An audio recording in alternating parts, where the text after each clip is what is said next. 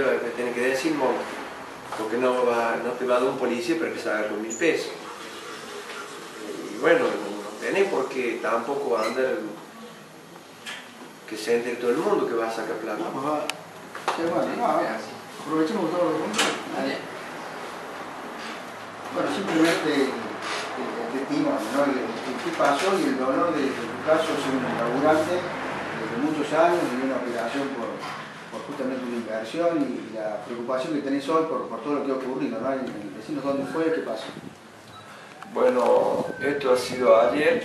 Eh, ayer mismo yo había cerrado un negocio de, de comprar un auto, eh, usado por supuesto, y este, voy a retirar el dinero del banco ayer para cerrarlo hoy el negocio y decir, bueno, dame el auto, toma la plata, ¿viste? Y bueno, al salir del banco, después que pasen estas cosas, este, un, montón de errores dentro del banco y este, que no, no, no, no, pasan a ser mayores, pero eh, si vos por ahí te empezás a fijar finamente, eh, son, son gruesos, ¿viste? Eh, después no salgo de, agarro la chata de mi papá, me vengo directamente, la dejo al frente de la Plaza San Martín, subo la chata y me vengo aquí a mi casa. Cuando llego a mi casa, este, bajo, eh, voy a subir la vereda y, y me arrebataron, no, me, no te dan tiempo a nada, ¿viste? Es una cosa de, de, de, de segundo, capaz que no sea de segundo. ¿Cuánto tiempo pasó que sa- pasaste del Banco de Provincia de Córdoba? Y bueno, el banco de la provincia de Córdoba, esto- ¿cuántas cuadras? ¿Ocho cuadras? ¿Cuánto puedo demorar? Mm, ¿Cinco minutos? ¿Diez? Iba en moto, ellos. Claro, bueno, pero cuando yo, eh, ellos pasan, cuando me roban, el tipo que me roba a mí sube a la moto, que casi se cae, ¿viste? No se cayó. Ya estaban Ese acá suelo. entonces.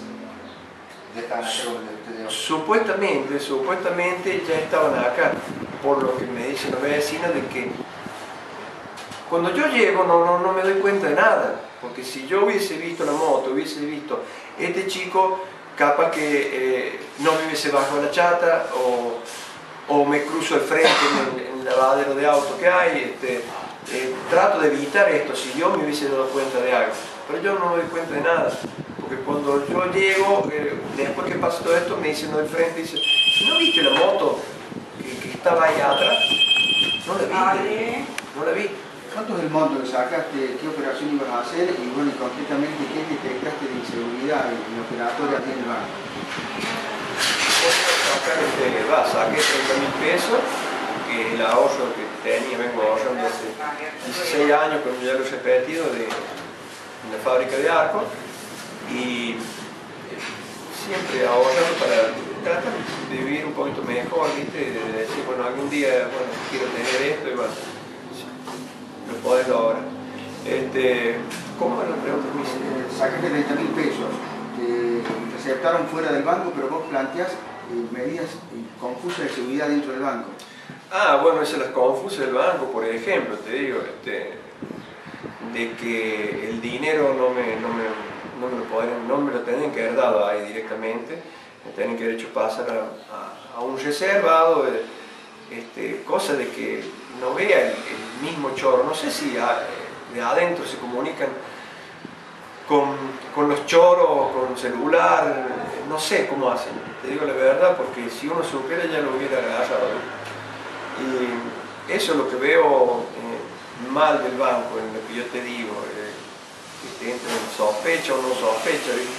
No, no estoy acusando a nadie con esto. Y, y el monto encima no te lo dieron completo, faltaba un- una suma. O sea, la- el cajero, el cajero es cuando yo pido la plata, este, lo único que tenía ella en la caja era 10 mil pesos. Entonces después ella pide a, a su, a su compañero el, el- el faltante, viste, de la plata.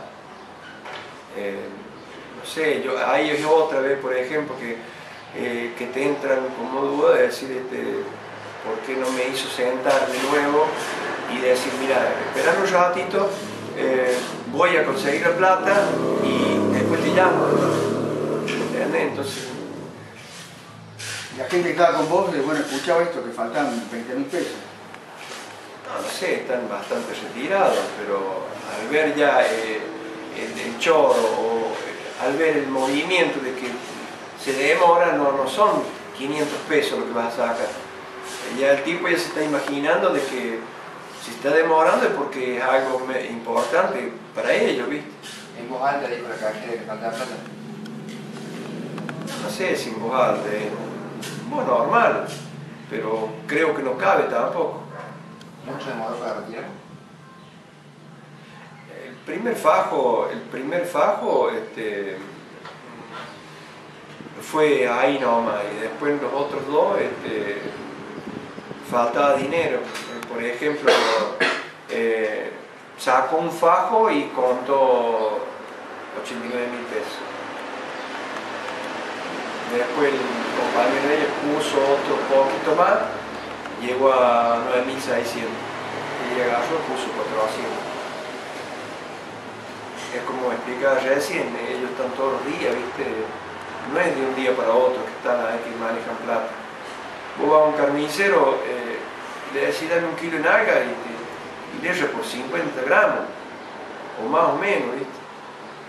Y, y estos que están todos los días, creo que no, no sé, creo que no debería. ¿De quién sospecha más? De todo. De todo. y más todavía porque no encontré la plata, no se sabe nada. Sospecha de todo, de todo. todo. Y hablando porque pasa en Jesús María, ¿no? Que antes era tan tranquilo. Sí, sí, la verdad que sí. Y si esto sigue pasando, no sé, eh, cada vez se pone peor, ¿viste? Porque no los agarran y dicen, oh, vamos Jesús María, si ahí está la plata. Es así. ¿Qué siente en este mucha impotencia, de ganas de dejar todo, ¿viste? Decir, ¿para qué? ¿Para qué? Si yo hago horas extras en el trabajo, eh, un montón de cosas te privas, ¿viste? Para, para juntar y qué sé yo, y ahora con esto, qué sé yo, es, es muy feo, ¿viste? Muy feo, aparte para mí era un montón de plata, ¿viste? mucho, muchas horas extras, mucho trabajo, y que en un segundo todo, se te vaya todo. ¿Cómo cree que